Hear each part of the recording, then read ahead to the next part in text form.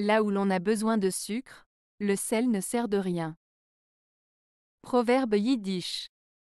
Ce proverbe yiddish signifie que chaque situation nécessite une solution particulière et que ce qui fonctionne dans une situation ne fonctionnera pas nécessairement dans une autre. Il s'agit d'une métaphore qui souligne qu'il est important de comprendre les besoins spécifiques d'une situation avant de prendre une décision ou d'agir.